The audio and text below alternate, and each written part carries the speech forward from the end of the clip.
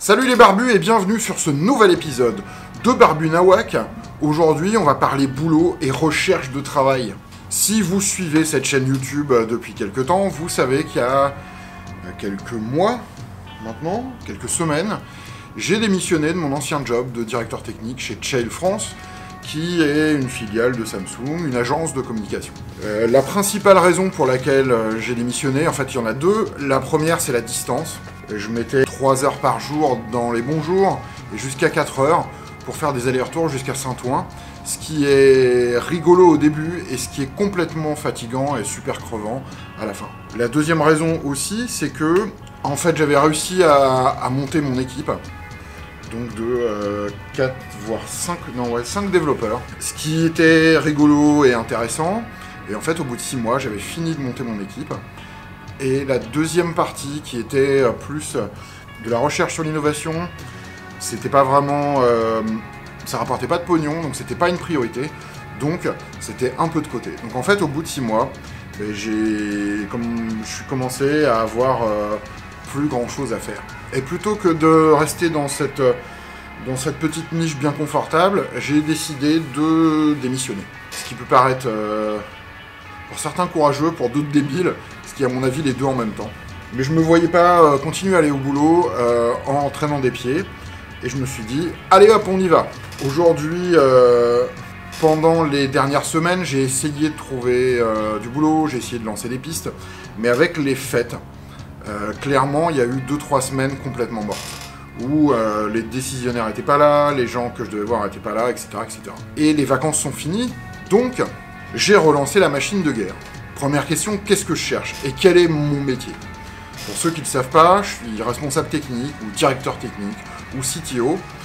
En fait, ça fait, j'ai compté, ça fait 18 ans en fait que je bosse j'ai commencé comme développeur web. Au bout de quelques années, donc je suis passé euh, junior, développeur web confirmé, développeur web senior, ensuite chef de projet technique, comme ils disent, pour ensuite finir euh, sur ces, à peu près cinq dernières années euh, directeur technique. Quel est le rôle d'un directeur technique? Cette question n'est pas si évidente à répondre en fait, puisque suivant le type de structure, le rôle du, directeur technique va varier.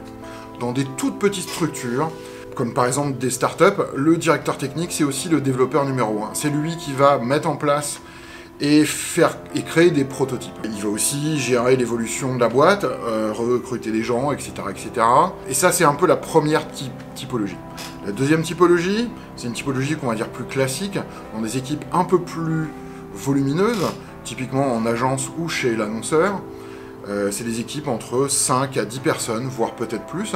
Et le but là est de beaucoup moins développer. C'est principalement de la gestion de personnes, du management de projet, la gestion de crise, et aussi de la gestion, pas de la gestion, et aussi de la veille technologique. C'est-à-dire voir quelles sont les tendances et pouvoir conseiller au mieux les personnes qui vont prendre des décisions stratégiques. Mais peu importe la structure, qu'elle soit petite ou grosse, un de mes principaux jobs, c'est de jouer le traducteur entre d'un côté les développeurs et de l'autre côté les pas développeurs entre la technique et la pas technique. Arriver à faire comprendre à des gens qui sont pas techniques quelles sont les contraintes techniques, aussi bien en termes de temps de budget et de difficultés, et aussi à faire comprendre aux équipes techniques qu'est-ce que les fonctionnels ils veulent bien dire. Une espèce d'agent de liaison entre humain et nerd.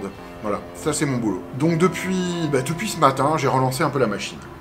J'ai renvoyé des CV, j'ai balancé un post sur euh, euh, Instagram, euh, Facebook et Twitter, qui a été beaucoup retweeté. Je remercie déjà tous les gentils barbus et pas barbus qui ont retweeté, commenté, liké, Facebookifié, tous ces trucs-là. j'ai aussi lancé un peu la machine de guerre sur LinkedIn, recontacté pas mal de gens. Et à partir de demain, dans un deuxième temps, je vais envoyer des mails, des mails personnels à des gens que je connais. Je vais euh, scanner un peu mon réseau et commencer à envoyer des mails spécifiques. Si ces deux premiers, premières actions ne donnent pas de rendez-vous significatif, je vais passer à la deuxième phase du projet. C'est-à-dire, euh, je vais trouver une liste de euh, toutes les agences et annonceurs qui potentiellement pourraient être intéressants et je vais balancer des mails. Je suis allé sur LinkedIn voir euh, les annonces, et le problème, c'est que le terme directeur technique veut tout dire à rien dire. Parce que pour certains, c'est plus un boulot de chef de projet technique, pour d'autres, c'est euh, CTO, pour d'autres, c'est responsable technique. Euh, donc c'est un peu compliqué, mais euh, ce qui est important, c'est plutôt les compétences que j'amène. Quel serait mon boulot idéal? Grande question. Mon boulot idéal, il serait à 3 minutes de chez moi. Il serait évidemment bien payé, avec des projets intéressants, bosser avec des gens sympas, et surtout qui permettrait de mixer un peu plein de médias.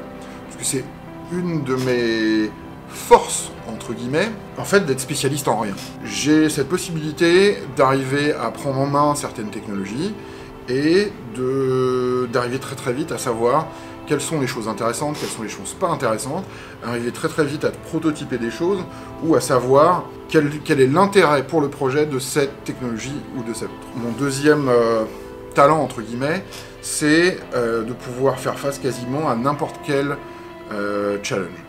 Vous me donnez, un, me donnez des contraintes et un timing, un budget, et j'arrive à vous trouver les technologies et surtout les, personnes qui les maîtrisent pour pouvoir le réaliser. Un de mes gros points forts aussi, c'est que bah, ça fait 18 ans que je bosse dans le domaine, euh, j'ai été dev, et j'arrive à constituer une équipe ou à recadrer une équipe, et surtout à manager les gens de façon correcte. Je suis pas du tout euh, adepte du fouettage euh, des employés, c'est complètement débile. Mais par contre, arriver à établir un climat de confiance avec des développeurs, des techniques et les chefs de projet, arriver à faire en sorte que les gens puissent se parler et arriver à faire en sorte que le projet se passe le, de la meilleure façon possible. Ça, c'est quelque chose où aujourd'hui j'ai de plus en plus d'expérience et qui marche vraiment. Dernière démonstration euh, chez Chail, euh, avec euh, une situation quand je suis arrivé un peu chaotique, mais la création d'une équipe de deux développeurs à cinq, recruter des profils relativement divers mais bien complémentaires et qui permet d'avoir une ambiance de travail qui, euh, quand je les ai quittés, était plutôt, euh, était plutôt cool. Voilà donc à peu près où j'en suis dans mon cheminement, ce qui veut dire aussi que euh, je risque de louper certains rendez-vous pour ces vidéos. Alors, je viens de publier l'avant-dernier épisode sur le projet guitare. Ne vous inquiétez pas, mercredi, il est prêt, il est prêt à être publié. L'épisode 220, l'épisode final sur le projet guitare, euh, ben, il est prêt. Donc vous l'aurez mercredi. J'ai aussi un ou deux mini-épisodes qui sont dans la boîte et qui ont été programmés. Donc, vous inquiétez pas, vous aurez du contenu à vous mettre sous la dent pendant que moi je serai ici, sur mon ordinateur, à tenter de trouver un job, à envoyer des mails et à passer des coups de téléphone. Comme d'habitude, tu as des questions, des insultes, tu sais comment faire, tous les liens pour me joindre sont dans la description, tu peux bien sûr laisser un commentaire et évidemment tu t'abonnes. Tu peux aussi, comme Killer JC666, allez cliquer sur le lien Utip qui est dans la description, allez regarder une petite publicité, ce qui nous permettra de nous faire un petit peu de pognon, et nous permettre de te proposer des épisodes encore plus géniaux. Voilà, c'est tout pour cet épisode update slash CV slash euh, futur boulot. J'espère qu'il vous aura plu. En attendant le prochain, faites des trucs, inspirez-vous, et que la barbitude soit avec vous.